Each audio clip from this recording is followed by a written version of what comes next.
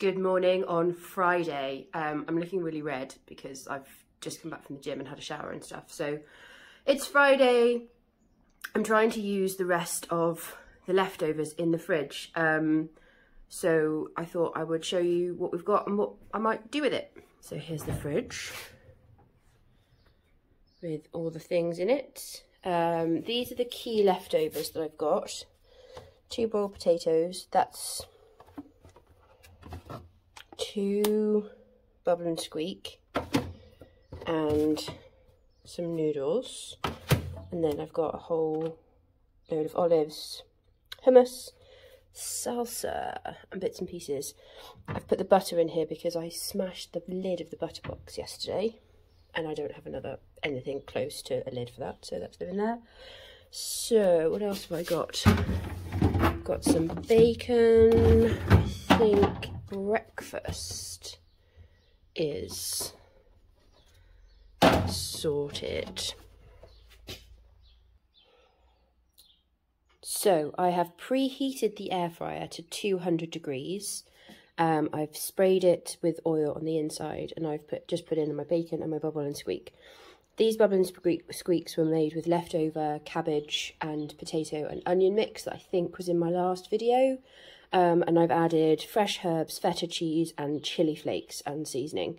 Um, they're so good. I think I got um, six out of that mixture. So this is the third breakfast of Bubble and Squeak I've been having and it's it's really good.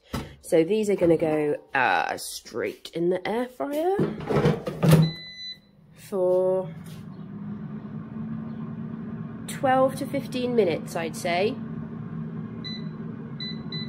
We'll see how it looks after that.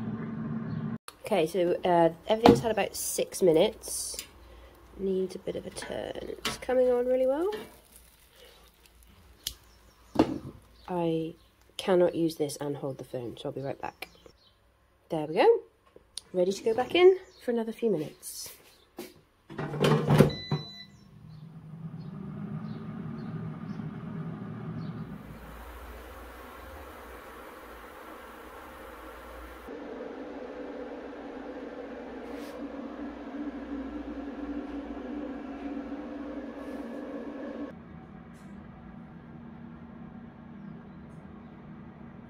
Okay, so to clean the air fryer, I've just put water and washing up liquid in it and put it back on at 200 degrees for about five minutes.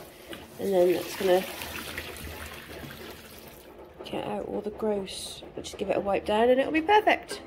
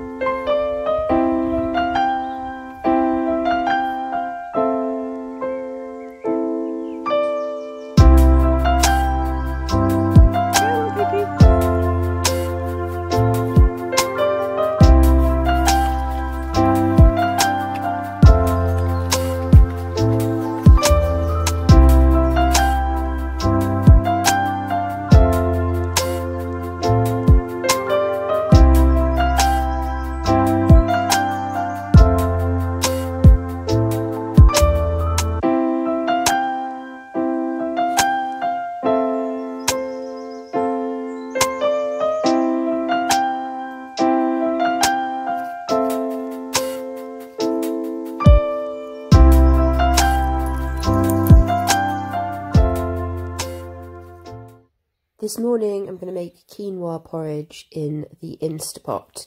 I hate quinoa and I'm trying to use it up. I've added some white miso just to give it a bit of umami and I'm using up the last of this um, chocolate protein powder that I also really hate. But I hate waste so I'm using as much as possible. The quinoa is only going to take like a minute at pressure in the Instapot um, so I'm putting it on for one minute. It's okay, but the texture's not that creamy, so I'm adding in this homemade kefir or kefir um, into the mix just to, you know, make it tasty. And also I needed to use that up, and I'm trying to use up um, leftovers and not waste food.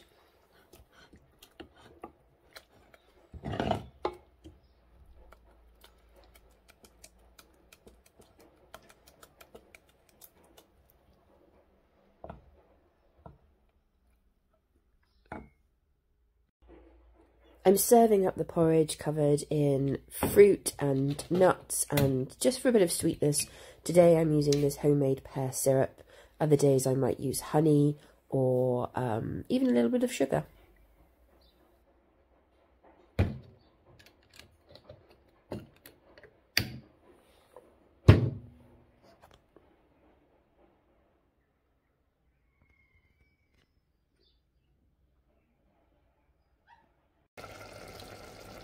Today I'm cooking gnocchi in the Instapot on saute mode.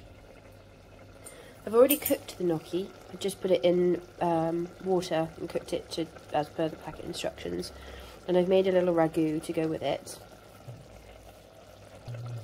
So in here I've got onions, garlic, the bottom end of asparagus, the bit that you would normally snap off and throw away, some chili, some miso, and some mushrooms, and some parsley stalks.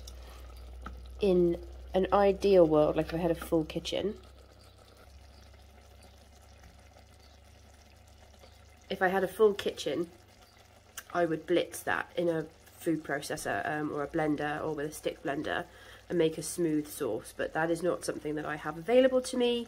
So this is going to be um, chunky farmhouse country style.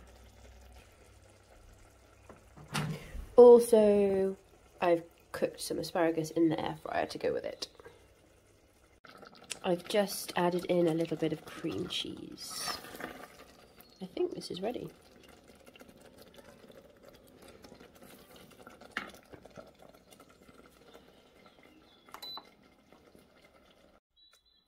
To finish, I've just scattered over some blue cheese, some chopped up sun-dried tomato with some of the oil, some parsley and a few olives.